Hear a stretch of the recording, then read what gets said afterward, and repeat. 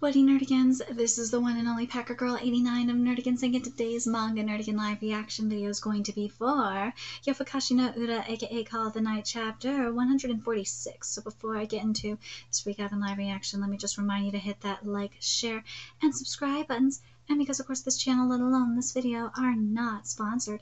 If you love what we're doing and want to help keep this operation alive and kicking so I can keep bringing you more anime and manga content, whether it be news, analysis, or live reactions like this one, feel free to hit up our Cash App and PayPal. Links are in the description box below.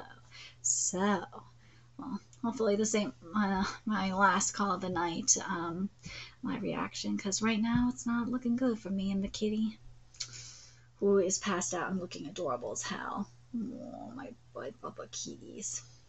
So, um, last time I covered this manga, we found out that um, it's a very, very small world up in here because uh, on the school trip, we ran into um, one of uh, one of Mama's servants, one of Haru's servants.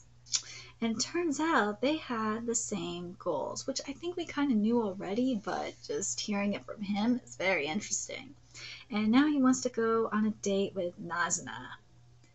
Yeah. Kou was not happy about that. But, anyways, let's get um, to this chapter, see what's in store for us this week a way to go back to being human, despite not knowing if such a thing is even possible. Nanakusa Haru and um, Hoshimi Kiku were legitimately trying to figure out um, figure out how. Here we go. And this chapter is titled The Feeling of Being Alive. What even is a vampire? Why can't they turn uh, humans into vampires? We don't need to talk about this now. We've mulled uh, that over to no end already, and no answer came of it. So Kiku and Haru talked about it. Interesting. But it's possible we could find some sort of clue. I think we should keep discussing this. You keep wasting time on um uh, pointless topics, Ha-chan. Why not suggest something more tangible? What? Kiku-chan, you're just bullying me now. Uh, what Har um Haruka-chan? Oh wait.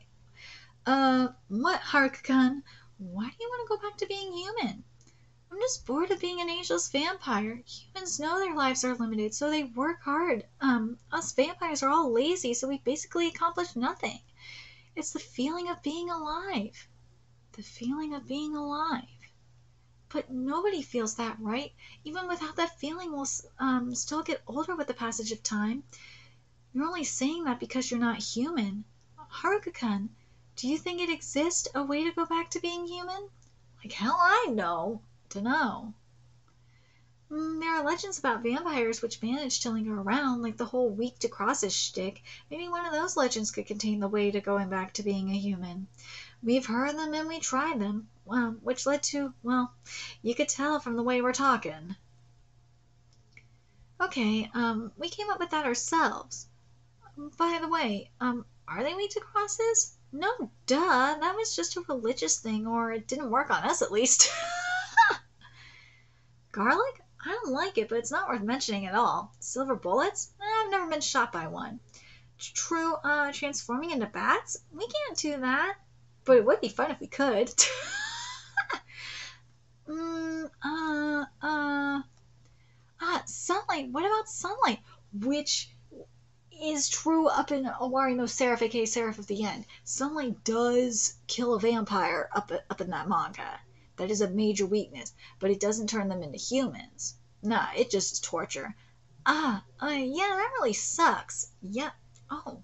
Okay, so what I'm saying is that legends of vampires which survive to the modern day are based on real vampires and are spread um, as rumors by humans. And with the passage of time, they become more fiction than fact. Hmm, what do you mean? This is what I mean. Let's take the bat transformations. If someone did something like this during night um, in a lightless town back in the day, what? Yeah, the humans would see a vampire disappear into the night and think they turned into a bat and flew away. That wouldn't be that wouldn't be a weird conclusion. Would it really not be weird? It wouldn't. When humans see things they can't understand, they replace it with things they do to keep it um, in order to make sense of it. That is true. Hmm, interesting theory. So the traits of legend which survive to the modern day is just information that humans warped as they passed it down. Is that what you're saying? Hey, but the thing is, is with myth, myths and legends is that there's always a hint of truth. Yes. Um. Uh huh. Good point. Some vampires might have been weak to crosses, uh, crosses due to their faith. I get. Well, you know what? It might have been as well is that um, the stronger the faith, the more powerful the crosses are. And because as time has gone on, people are not as um, religious as they used to be. So maybe that's why I could believe that. They were having a serious conversation. It was like they were um, studying a movie and arguing over interpretations. They were looking for a convincing answer by looking through uh, reference stories and idle gossip from olden days. These two women looked like real humans to me. Mm. Yeah, but why did they want to go back? Harusan said she was bored. Then, like, why did you make me a vampire? I've never once felt that feeling of being alive. I've always wanted to die. I thought I would just die while hanging around without anything good in mind. I found someone I loved for the first time. That that in itself was great. I was happy to be I was able to be happy for just a little bit before I died. That's why I found courage. And yet why did you make me a vampire that day? Was it only to make me feel less alive than ever before? I just thought you shouldn't die just yet. I couldn't leave you just crying there.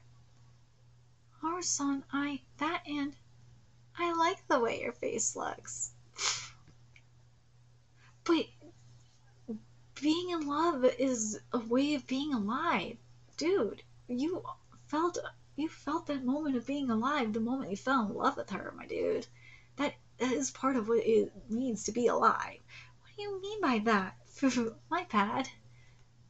Well, I'll be on my way. See ya.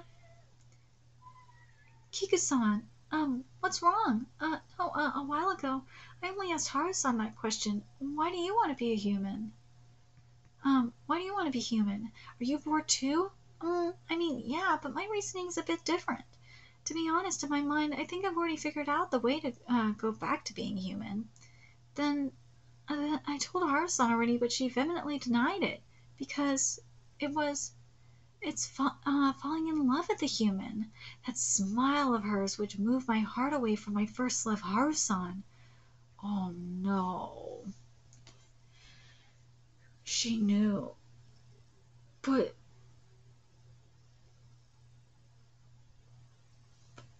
that thought, man.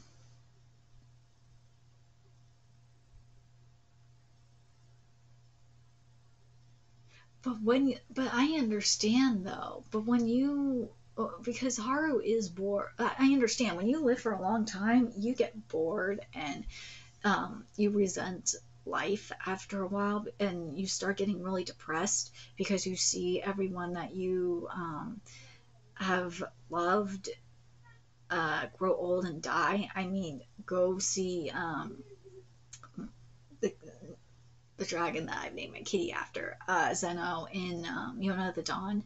His mind, he said his mind broke like at least twice um, during his time as an immortal. Then there's um, the vampires and Seraph of the End. They want to die. They've lived for a long time. They want to die. They say their immortality is a curse they hate being a good well i should say the majority of them hate being alive. Um the immortals in well the immortals in UQ Holder it's like um it's mixed. Some of them hate being alive and some of them um and they think it's a curse and some of them are fine with it if i remember correctly. But it just depends. It does. Haru is bored. And the title of this chapter finding a way to be alive um, Haru, when you fall in love, that's when you falling in love is one way of really becoming alive as as a human, is falling in love. Because you really feel that you really like you really feel, it's hard to describe, but I can understand why falling in love with a human would make you human because emotion like when you fall in love, it just it brings out your weaknesses, especially if that makes sense. It makes you, it does make you more human. If it's hard to describe it, but I understand what we're going for here.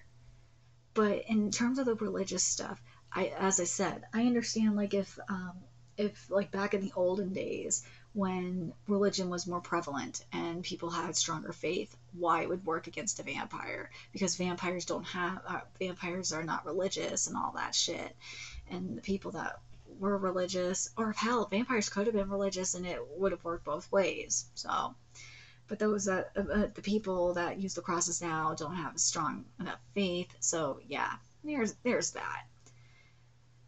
But the ones, the bad thing is very interesting though. I wonder what is up with that. If vampires used to be able to turn to bats, or nah. I'm very.